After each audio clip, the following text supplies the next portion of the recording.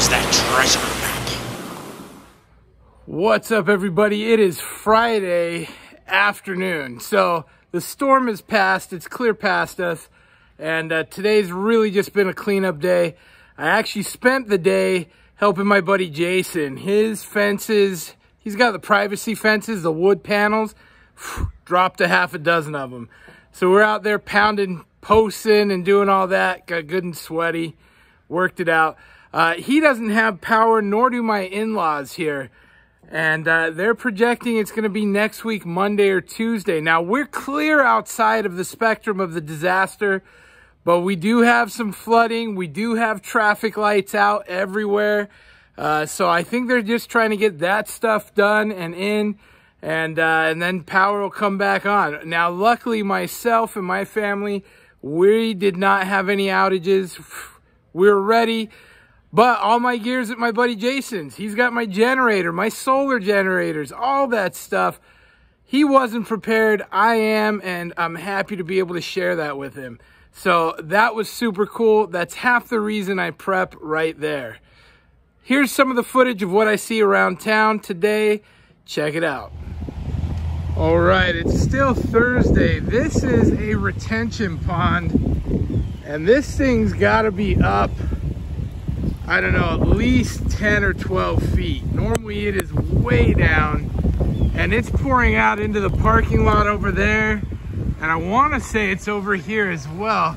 It's still raining, still windy, but it's nothing like uh, we were expecting. So we're very fortunate. But uh, we were just driving over here and we saw the water rushing over there. It filled a whole parking lot. So normally there's about 12 foot of a drop on that side. And you can see it's flush with that Texas Roadhouse parking lot right now. In fact, it's flooding into there on that side. That is a lot of water up here. And uh, there's more to come. It's supposed to keep raining throughout today and into tomorrow. So we'll see what happens. So this is not normally a lake, but you can see that is a lot, a lot of water. That's not even a retention pond, that's just a field. But uh, yeah, we got a lot of rain. so this is a local business right up the street from me, and as you can see, the buildings, there's multiple office buildings, but that one in the middle is underwater. That other one in the back, that one is typically uh, got a couple stairs going up to it, but they got a couple of feet of water in there, which is crazy.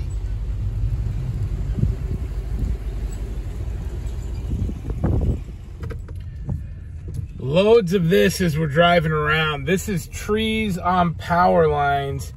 And uh, I can guarantee you this is why there's a lot of power outages. These big trees, they just fold right over and uh, until they can come out and cut that down once the wind settles, that's what we got. All right, that is a big tree down. Holy smokes.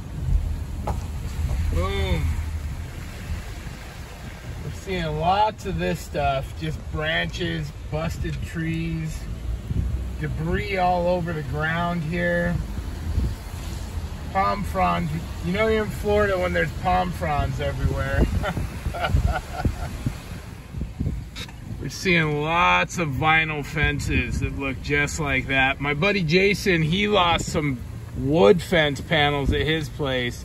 Uh, lots of screened porches that are decimated as well. Right, and here is some serious water.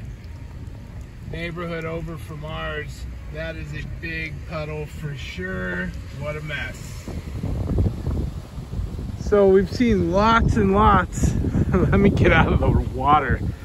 Lots of stop signs in that that are bent sideways. And again, we didn't even get the hurricane up here, but uh, this is going into my my home here.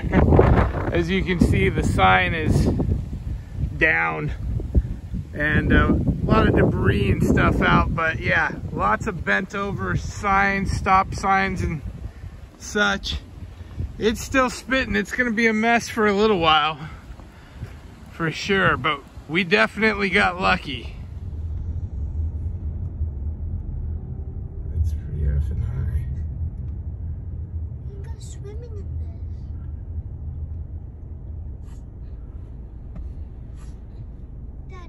Swimming. Look at that side.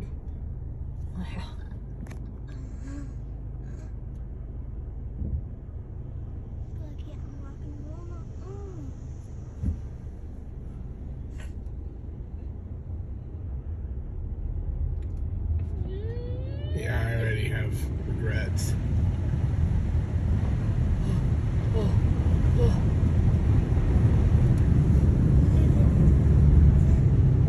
Oh, it doesn't like that. Oh. Ooh, that was white knuckled. And there you have it. That's how it looks here in my neck of the woods. Now, look, if you're looking at the news at all, this was devastating. People died. The actual implications from this or ramification, whatever, uh, this is going to be expensive. There's a lot of buildings gone. There's a lot of loss of life. There's a lot of everything. The damages are in the billions. Look, there's video floating around if you look for it. People trapped on roofs, people getting washed away. I mean, this was that bad. Even up in the Orlando area, there's submerged cars, you know, where rivers and lakes overran their, you know, borders. I mean, it's really crazy. And this was really not even the worst case scenario. They were projecting even worse. Uh, my heart goes out to those down down south and in on the west side. We were really unscathed up here. We're very fortunate for that. So keep them in your thoughts and prayers.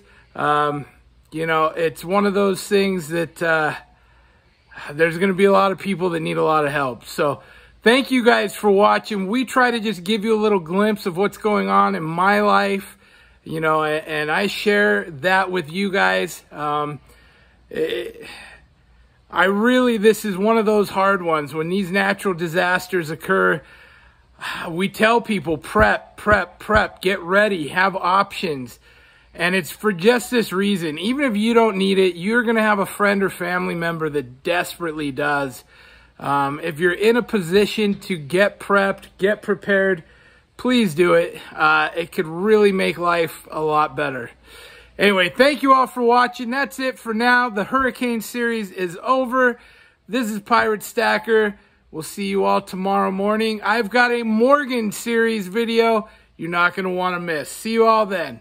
Pirate out. Arg.